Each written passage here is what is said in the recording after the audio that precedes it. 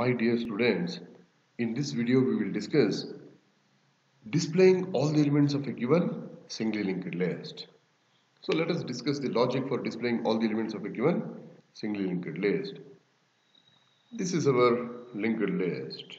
How many elements are there? 4 elements are there 10, 20, 30, 40 and start is containing the address of the linked list.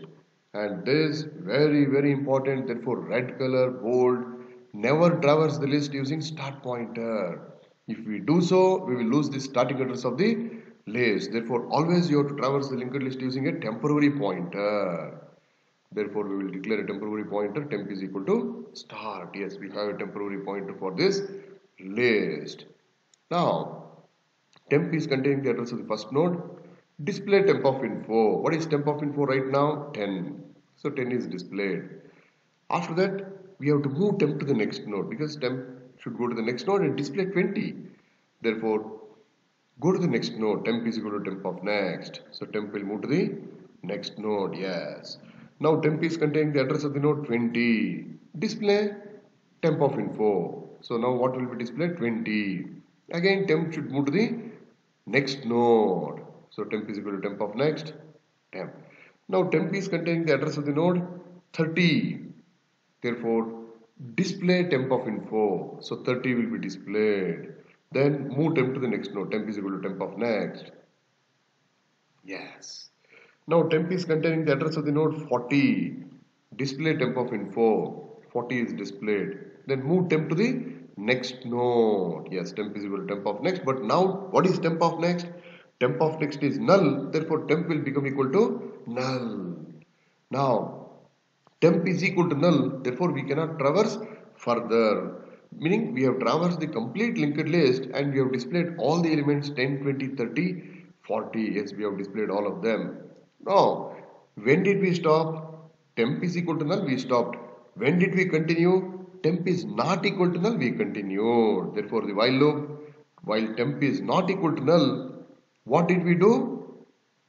We displayed. First we displayed temp of info then we moved temp is equal to temp of next. We moved temp to the next node. That's all. When temp is not equal to null, we have to display temp of info. Then we have to take temp to the next node. That's all we uh, did here. Very simple logic. Now let us consider the function for displaying all the elements of a given singly linked list.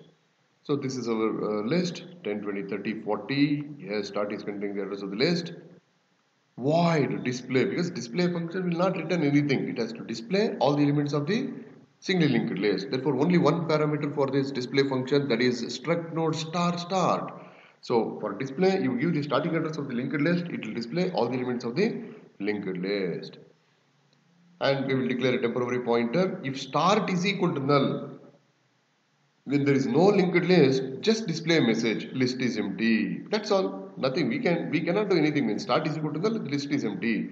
Otherwise else the elements of the list are we will display a message. Yes printf the elements of the list are yes. Then temp is equal to start. Yes temp is equal to start. Now again we will discuss how actually we write the while loop. First we have to display temp of info. Yes. What is temp of info right now it is 10 yes. Next what we have to do temp is equal to temp of next. Yes temp will go to the next node. Again display temp of info. What is temp of info right now? 20 so 20 will be displayed. After that temp is equal to temp of next. Yes. Yes. Now display temp of info. What is temp of info? 30 so 30 will be displayed and temp is equal to temp of next. So temp will go to the next node. Now what is temp of info?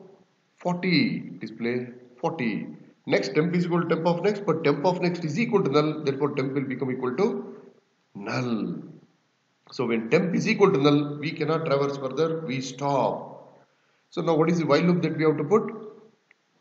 While temp is not equal to null, what are the two things that we did? We displayed temp of info and then we moved temp to the next node that is temp is equal to temp of next. That's all. That's all the while loop and that's all the function very simple. When start is equal to null, nothing is there in the linked list. List is empty. Otherwise, you initialize temp to start. While temp is not equal to null, two things you have to do. Display temp of info and move temp to the next node until temp becomes null. That's all. I think this logic is quite simple. You should be able to easily manage this logic.